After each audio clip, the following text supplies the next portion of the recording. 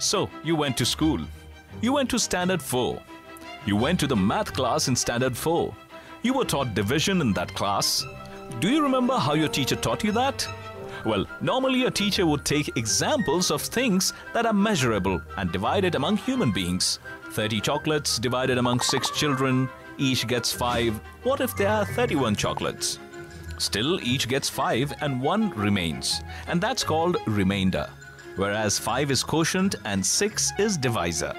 Then you were taught long division method to work with more complicated numbers. You practiced hard and mastered the art of division so much so that you got A grade in your tests. So let's try out a standard 4 problem again. What is the remainder when 26 is divided by 5? Well, it's been a while and you might hate maths now, but still it's an easy one. Yes, you correctly thought the remainder is 1. Let's twist the same problem a little. What if minus 26 is divided by 5? What will be the remainder then? Minus 1? 1? Confused? Well, we experimented with a sample set of students and tried to study where they get stuck with this problem and why do they get stuck.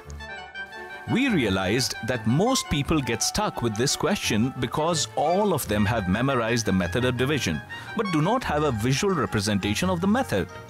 We intuitively take minus 5 as quotient and hence minus 1 as remainder, which is wrong. 1 is wrong too. There is a misconception, and unless the teacher cleared that misconception in learner's head, the learner would still keep making the same intuitive mistake. The key is to find where the misconception lies in every learner. This is where Phyzok's magical platform Defy comes into picture.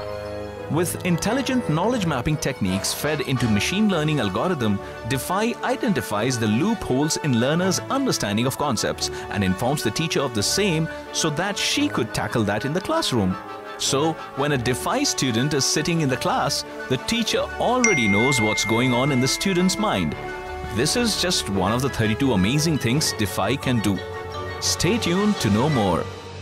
Defy, definitely yours. Powered by Phyzok.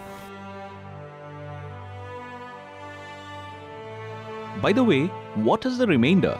Hmm? It is 4. Non-intuitive. I know. But figure out. If you can't, mail into info at to know more.